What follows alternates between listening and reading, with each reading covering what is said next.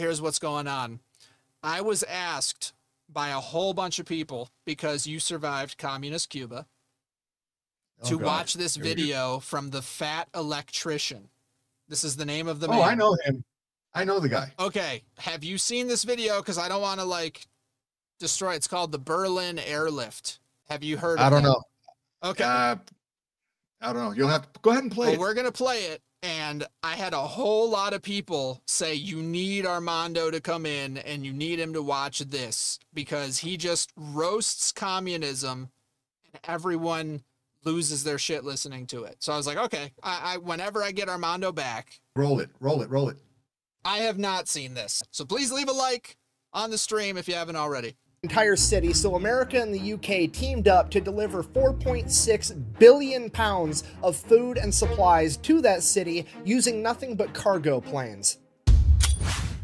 Today we're talking about the biggest economic and logistical flex of all time, America's Operation Vittles and the UK's Operation Plainfare, coming together to be known as the Berlin Airlift. But first, a word from our sponsor. This video is brought to you by Henson's Shaving. Okay, here's the deal. Henson's is a family-owned machine shop that makes parts for the aerospace industry. There's literally parts on the Mars rover that these guys made. I love and his one shirt. day they woke Yeah, up and they're like, hey, we're just gonna make the most precise safety razor on the market. And this is it. This is all they sell. It comes in aluminum or titanium. If you want to pay extra, it comes with a little stand. And then they also sell the razor blades so you have a one-stop shop. Not because their razor blades are proprietary, because this thing will take any shaving razor blade on the market. You don't have to buy their proprietary cartridge. You don't have to sign up for their monthly delivery thing. No, you buy this one time and then you can put any five cent razor in it and shave for the rest of your life. So the product it's Okay, I gotta pause this for a second. I bought a safety razor for myself from the Dollar Tree like two years ago, and I've been using that as my only razor, and it's fucking phenomenal.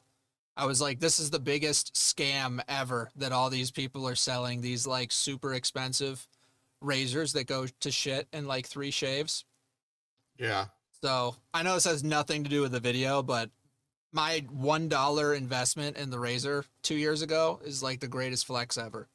Itself is fantastic, but more importantly, the company is awesome because every time a YouTuber does an ad like this, they get sent a little media packet full of talking points, what to say, what not to say, and so on. Now, I'm not supposed to disclose this, but the brief that I got for Henson's basically said there is no script, do whatever you want, we trust you. Also, in the first paragraph, they said this quote, if for whatever reason you don't get a good shave with our product, please let us know. If we can't help you, then don't endorse us. We think we've made one of the very best razors in the world. If you disagree, we'd rather not ask you for a non genuine endorsement. So, not only are the razors great, but this is the type of company you want to support. I'll have a link and a discount code down below. Let's get back to the video. All right, important background info. After World War II, the Allied forces took control of Germany and it was split into pretty much four different chunks. The Soviets got a piece, America got a piece, the French and the British both got a piece. Here's a map of that right here. Okay, here's where it gets a little weird. Berlin was also split into four equal chunks. The problem with that was Berlin was 100 miles into the Soviet territory, so you have this little tiny speck on the map of British, French, and American territory completely surrounded by the USSR. While that is weird, it wasn't really a problem because right after World War II, everybody was still an ally, so America, the British, and the French had no problems using the roadways and the trains to get food and supplies to their section of Berlin. Now, just so we're on the same page, Berlin and essentially all of Germany to a slightly lesser extent is essentially a third world country at this point in time. Berlin in particular has essentially been turned into rubble from allied bombings. The entire German economy is in the toilet and all of the German people are not getting a lot of sympathy from the global community because, well,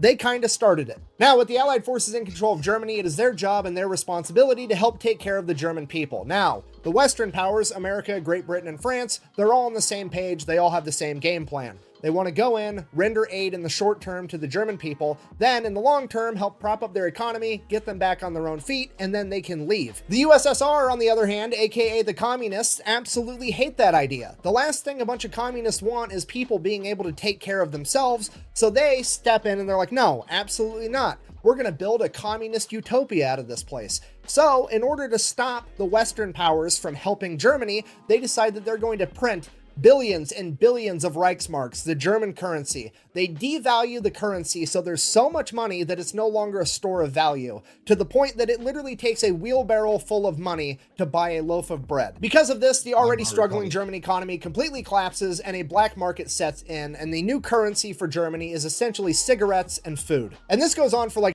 Beans and bullets. You know, ah. like we we've talked about this. You devalue the currency all the way to the point that people have to have an artificial secondary currency bartering Sound system, familiar? The way that we're printing money? dude. And then no shit. Like we've been talking Yeah. about the Weimar Weimar Republic example Forever. forever. Like two years with the West trying to negotiate with the USSR on how to proceed. And during that time, the people of Berlin are quite literally starving and freezing to death, with the average Berliner eating less than a thousand calories a day. Eventually, the West steps in and they're like, fuck it, we're just gonna do it without the communists because we have to help these people. So they create a new type of currency for Germany known as the Deutschmark, and it's gonna be seen as a real store of value and help rebuild the German economy. The Soviets find out about this and they freak out, basically break all diplomatic communication with the Western powers, and they officially want to break up and just have East versus West, capitalism versus communism, Hungary versus Fed. This is where the Cold War really starts kicking off. And the first ideological battleground of the Cold War is going to be Berlin, because remember, it's 100 miles into Soviet territory, and a big chunk of it is still controlled by the Western powers. So the Soviets decide they need to take over that part of Berlin too. They can't have a little speck of capitalism in their communist utopia. Now, luckily for the communists, it's an easy fix. They really don't have to do anything because the minute the West Berliners see what a communist utopia really looks like, they're going to willfully and freely denounce capitalism and run over and become communists too, right?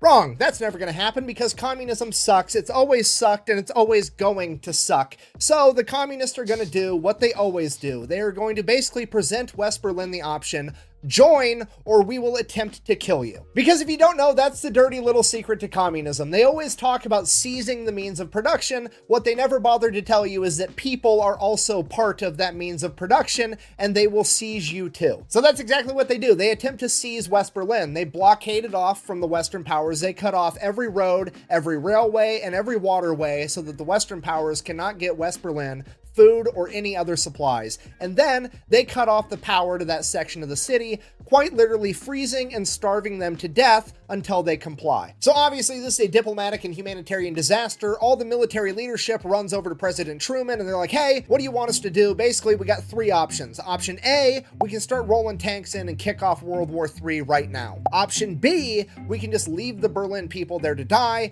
And option C, we can try to fly in as much food and supplies as possible, but getting enough to feed an entire city is basically going to be impossible. What do you want to do? Now, obviously, I'm paraphrasing a little, but Truman basically said, We're America. We don't start world wars, we just finish them. Also, and I quote, we stay in Berlin period, which narrows it down to one single option. They are going to fly in enough food and enough supplies to try to feed all of West Berlin. Here's the catch with that the American leadership has absolutely no idea what that's going to take or how to even proceed. So they go to the British government, who has just spent the last decade rationing their own people, and they have a great understanding of what it takes to keep a large population of people fed and warm. So Great Britain crunches the numbers, and they figure to get every single person in West Berlin 1,700 calories a day, it's going to be 1,500 tons of food every single day. In addition to that, since the power got cut off, they're going to need 2,500 tons of coal and fuel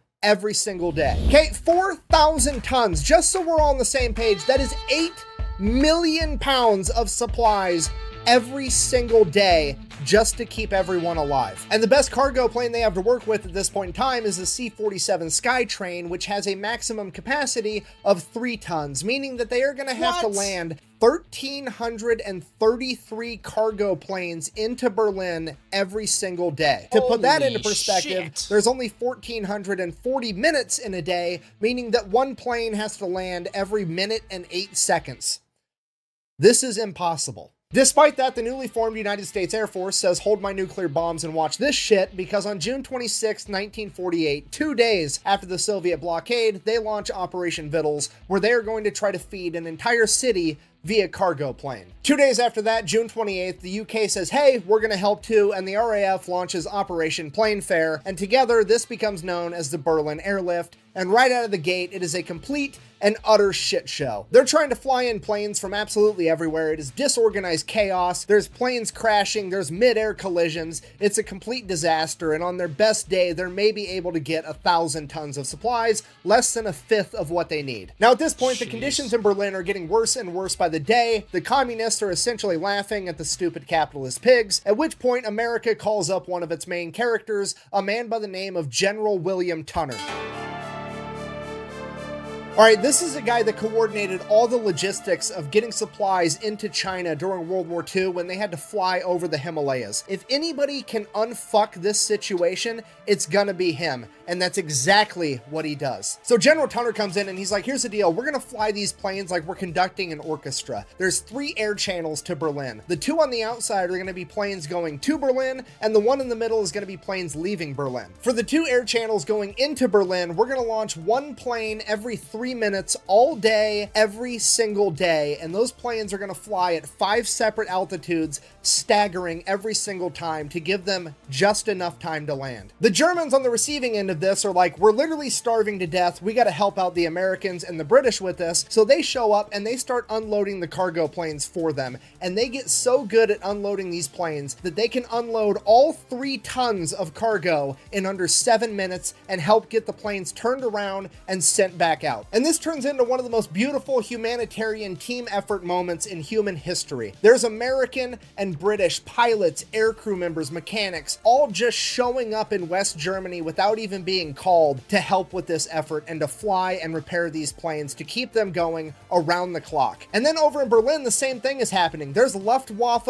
airplane mechanics showing up to help repair the American and British cargo planes to keep everything running. The two sides that were fighting against each other just a few years ago are now working together to save people. Everybody involved in this operation gets so good at what they're doing that the choke point that's holding up even more progress is that they don't have enough airfields to land the planes on. So the Germans straight up build another one. The only problem with that was there was this big ass apartment building in the way, and when the pilots lowered their landing gear, their landing gear would only clear that apartment roof by like 20 feet, which seems like it would be kind of terrifying. So the Germans are like, hey, do you want us to rip that apartment building down? What do you guys want us to do? And the American and RAF pilots are like, bro, we just got done flying in World War II with you guys and the Japanese shooting at us the apartment's gonna be fine, trust me. And sure enough, they start not only hitting, but exceeding the quota of 4,500 tons a day. And this infuriates Damn. the Soviets. This is the biggest economic and logistical flex of all time. It shouldn't even be possible, and yet America, the UK, and the people of West Berlin are somehow pulling it off. At this point, the Soviets decide they have to try to do something to stop this, so they start sending up all their fighter planes to try to mess with all the American and British cargo pilots by flying too close. They're basically trying to mess up air traffic, cause accidents, do anything they can to slow down this logistical miracle. However, it doesn't really work. Why? Because the American and British pilots know that it's basically a bluff, because it's essentially a giant game of fuck around and find out, because if the Soviets actually do anything, it's going to kick off World War III, and at this point in time, America is the only country on the planet that has nuclear bombs and a president that's not afraid to use them. Okay, if you're not picking up what I'm putting down, I'm trying to tell you that the American and RAF pilots are flying with the confidence of knowing that if one of these Soviets shoots them down, President Truman is going to bitch slap their entire country with the sun. Needless to say, they were unfazed by the Soviet harassment. How unfazed were they? Thank you so much for asking. Cue our next main character, Gail Aka the Candy Bomber. He was one of yeah. the many pilots that was flying supplies into Berlin, and somewhere along the way, he decided that he was going to start dropping candy bars with little handkerchief parachutes out of the window of his plane over West Berlin so that the kids could get some candy. And eventually, this caught on, and all the kids were waiting where the planes would fly over, hoping that they would get a candy bar. Then the American government caught on, and they're like, oh shit, this is a great propaganda opportunity. Imagine what it would be like if every single plane was dropping candy out of it. So that's exactly what they do. They start dropping a bunch of candy out of every plane and then they make propaganda out of it. But then it gets bigger because all the American candy companies start sponsoring it and donating even more candy to drop. And then it gets bigger because all the kids in America and the UK start raising money at school to buy candy to give to the kids of Germany. And they're giving out even more candy. And the Soviets have to stand there and watch as the Americans and the British are not only flying in a literal Costco worth of shit into West Berlin every single day, but they're dropping candy out of their planes like it's a fucking parade the entire time. And this is all going on while East Germany and East Berlin is eating potatoes and standing in bread lines, and it makes the Soviets look like the biggest assholes on the planet. Because not only are the people of East Germany watching the Western world essentially move heaven and earth to help out West Berlin, they're also watching the Soviets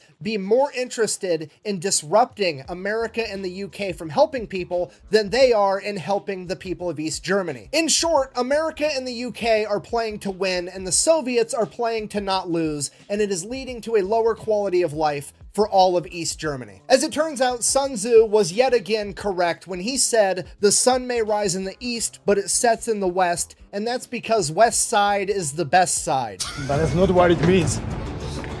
Really? Not even close. That might have been Ice Cube, actually. Anyways, so now in retaliation for all this, America and the UK and pretty much the entire Western world are going to put a bunch of embargoes on the Soviet Union and punish them financially and economically. Now, the Soviets absolutely cannot afford this, but they keep telling themselves it's okay, winter is coming, and as soon as winter gets here, they're not going to be able to land all these planes, and this whole thing's going to fall apart. We just have to wait out long enough for winter to slow down America and the UK. So that's what they do. They just try to shoulder the financial burden and wait for winter to come and put a stop to this entire thing. Winter comes, and winter, it does slow down some of the flights, but here's the catch. America was also developing bigger, better cargo planes, and now America isn't just flying the C 47, America's flying their new cargo plane, the C 74 Globemaster, and as opposed to the previous C 47 carrying only 3 tons, the Globemaster can carry 25. so, despite the Holy fact that weather can sometimes delay flights, America and the UK continue to improve and increase the amount of supplies that they are delivering daily. And by Easter Sunday 1949, they would break their own record, landing 1,383 planes in a single day, delivering 13,000 tons of supplies, which is 26 million pounds, which obviously is like 11.8 million kilograms or roughly 87 blue whales. Yeah, the United States Air Force and the RAF shipped 87 blue whales worth of crap into West Berlin in a single day. And because of this, it becomes very apparent to the Soviet Union that America can and will keep this shit up forever if they have to. And they are finally forced to give up the blockade because they cannot shoulder the financial burden anymore. And that would come down on May 12th, 1949. And with the roads and railways to West Berlin finally open once again, the Berlin airlift would come to an end after 15 months 277,000 flights spanning 92,000 miles and delivering 2.3 million tons of aid, which is roughly 4.6 billion pounds or 15,333.33333333 blue whales. This is the greatest logistical and humanitarian feat ever accomplished and the Western world did it with communism doing everything it could to slow it down. So, in conclusion, fuck communism. The best way to support the channel is go buy some merch at thefatelectrician.com. Quack bang, out. And then the Soviet Union got all pissy and built a wall through the middle of Germany, and that's what we're going to talk about next week.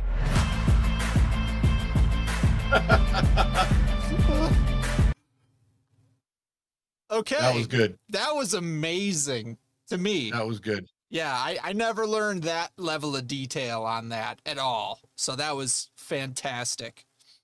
He's done. He's done. He's done quite a few of those. I, I saw him do uh, a a live one time with somebody else in studio, uh, basically roasting somebody else on X or something like that about communism itself, and he just kept fact checking and fact checking and fact checking and roasting them and roasting and ro- dude, I was in tears. I was in tears watching that thing. Yeah, this guy's good. I I, I like his stuff. Yeah, so you guys watch The Fat Electrician if you have not already. Uh, Yeah, definitely check good. that out. So my question for you um, has have you seen on Rumble on Rumble anybody do that ever? You got to let me know. Multiple scenes with a in-house guest screen background removed so that we can like make them different sizes and shapes and different screens and share the audio and video with you guys. I don't know, man. I haven't seen it. If you want to catch me live, I'm streaming Monday through Friday, 4 to 6 p.m. Eastern Time over on Rumble. So if you want to see me or you want to support me or you want to connect on social media, all links are in the link tree below. And all announcements will be made in the Freethinkers Rebellion Discord server, so make sure that you join up there.